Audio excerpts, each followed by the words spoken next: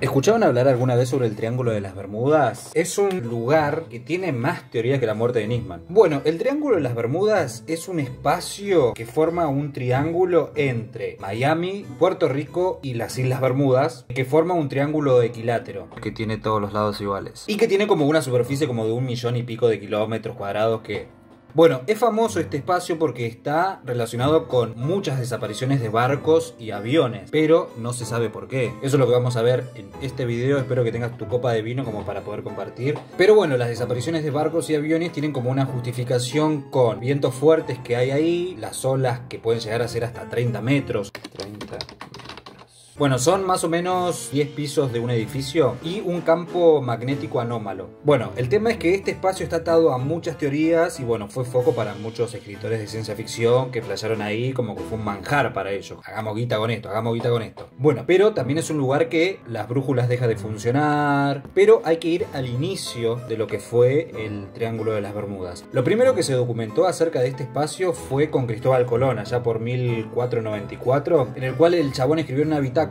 que estando en ese espacio vio a lo lejos fuego salir del agua, pero lo único que lo afectó a él fue el hecho de que, haya entrado en un tipo remolino. Pero bueno, no pasó nada, lamentablemente. Y fue lo primero que se documentó acerca de ese área, que se empezaron como a dejar registro a partir de 1840, que al día de la fecha hasta el día de hoy hay más de 200 desapariciones y más de 8.000 personas desaparecidas. Pero bueno, el caso más importante fue en 1945 el vuelo 19, que ese fue el inicio del misterio de qué es lo que pasa ahí en el Triángulo de las Bermudas.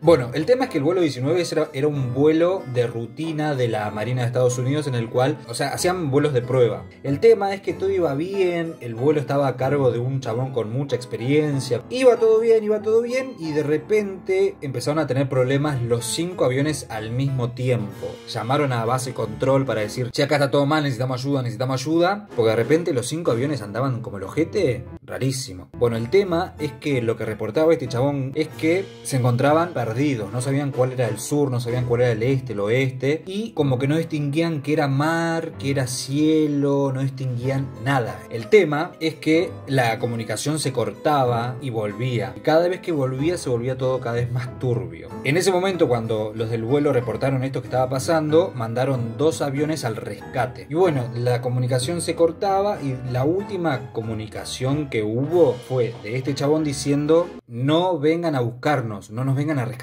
entonces decís, ¿por qué no? Pero el chabón dijo, no vengan. Eh, debe ser por algo que vio, y puta idea. El tema es que de esos dos aviones que fueron a rescatarlo, uno de ellos también desapareció. Y el otro, no. Pero bueno, en ese vuelo desaparecieron 27 personas y no se supo nunca más nada. Pero bueno, ese fue como el caso bisagra, que fue como un antes y un después por el misterio que se generaba ahí.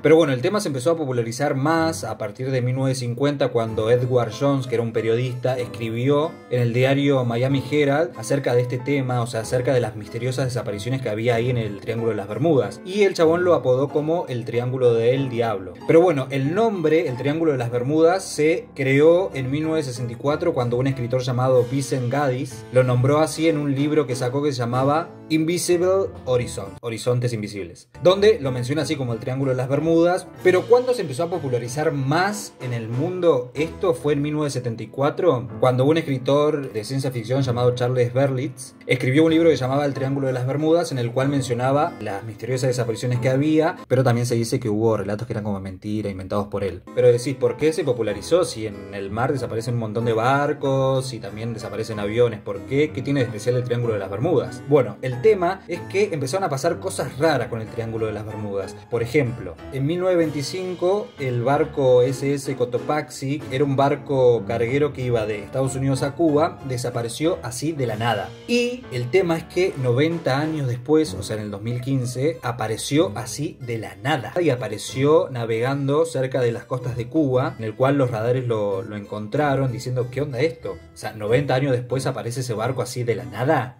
Pero como este caso hay un montón más, como también el barco Mary Celeste, que era un barco que llevaba alcohol desde Estados Unidos hasta Italia y desapareció también así de la nada. Y apareció al tiempito después con el alcohol todavía, sin ningún pasajero, con la comida todavía, o sea, todo intacto, sin indicios de accidentes, de nada. O sea, nada, pero solamente sin pasajeros. Y vos decís, ¿qué onda? O sea, desaparece un barco y aparece sin gente, aparece todo normal, aparece la comida, aparece eh, lo que estaban llevando, no hay ningún indicio de accidente. ¿sí? ¿Qué pasa? Bueno, ahí las teorías empezaron como a y hacerle la cabeza a la gente como que ahí estaba pasando algo. Hay que tener cuidado con teorizar negligencias gubernamentales también, ¿eh? Y bueno, ahí los conspiranoicos empezaron como a decir, eh, che, acá pasa algo. Y los escritores de ciencia ficción también empezaron como a rascar ahí como para decir, acá hagamos guita porque esto está siendo redituable. Pero bueno, en base a todo esto se generaron teorías conspirativas en qué es lo que pasa realmente en el Triángulo de las Bermudas. Una de las teorías es que hay un agujero de gusano. ¿Qué es un agujero de gusano? Es un espacio en el cual conecta una dimensión con otra dimensión. Por ejemplo, vas en un barco por ahí, atravesas ese agujero de gusano y te lleva a otra dimensión a otra realidad, a otro mundo, a otro universo, a lo que sea, y desapareces. Esa es una de las teorías más conspirativas, incluso se dice por, la, por el motivo de que aparecían nuevamente los barcos, que era rarísimo. Pero bueno, es como que te lleva a otro espacio, es como un agujero de gusano, así como Dark. Si no la viste, anda a verla porque es una serie. Pero que a través de ese espacio también ingresan los ovnis, que ahí se viene la segunda teoría. La segunda teoría tiene que ver con abducciones, o sea que es un espacio en el cual los ovnis tienen como contacto más directo y aprovechan ese espacio para abducir a la gente que pasa por ahí, o sea, la gente que hay en los barcos, o incluso también los aviones, o sea que los abducen para estudiar la raza humana. Otra teoría, la tercera teoría, es que ahí abajo del Triángulo de las Bermudas se encuentra la ciudad Atlantis o Atlántida, que es una ciudad submarina que está actualmente como activa y que tiene como una tecnología súper avanzada que cuando ven arriba que hay un barco o un avión lo chupan para estudiar la tecnología humana que, tenemos y además para, no competir. Y otra teoría tiene que ver con la tierra hueca, que para saber esta teoría tenés que ir a mi video de la teoría hueca. Pero bueno, una de las teorías como más aprobadas y es la, la teoría que más afirma la, la ciencia y el mundo no conspiranoico es que abajo del Triángulo de las Bermudas hay hidratos de metano, abajo de la Tierra que está en el mar. Entonces, cada tanto hace erupciones de ese gas metano y todo lo que hay por encima de esa zona de mar, por ejemplo, si pasa un barco, lo que hace es chupar y absorber eso y nos vimos. Que esa, esos hidratos de metano también hay en otros lugares, como por ejemplo en Siberia, entre otros lugares, en el cual es la justificación más científica que hay, que es con la menos conspiranoica. Entonces, si vos pasás con tu barco por ahí y justo explota esa, ese hidrato de metano, de repente se hace como un hueco ahí y te, y te chupa. Y por eso también tienen las justificaciones lo que vio Tobal Colón, que fue como fuego, como una, una burbuja gigante. Y bueno, que puede ocupar espacios muy grandes y esa es la justificación